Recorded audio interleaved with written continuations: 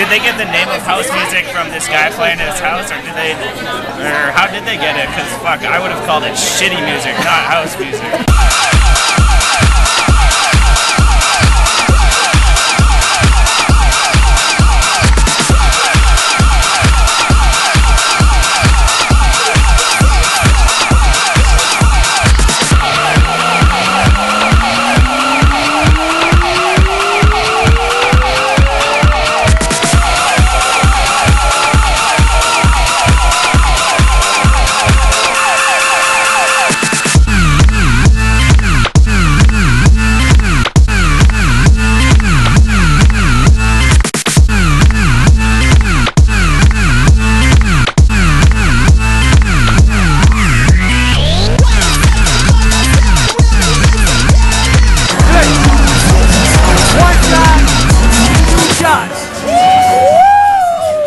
Hey, shouldn't you be going to Canada? I should be.